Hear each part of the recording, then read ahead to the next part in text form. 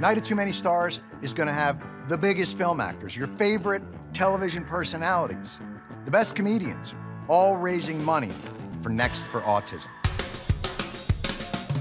A lot of organizations with autism deal with the medical side of it, funding research and all that, and that's great. Next for Autism stands out because it funds a tremendous amount of educational spaces and innovative programs that help people with autism right now lead more meaningful lives.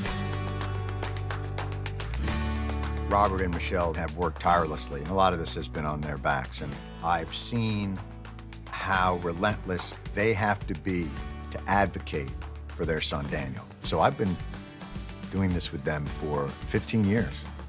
And so watching it grow and seeing the impact that these programs have had is phenomenal. We've raised $24 million over these years, which is a lot of money. But man, it goes fast, and it's, it's been over a long period of time. And this is our chance to elevate it with HBO. It really makes us feel like we're on the verge of something, you know, really special.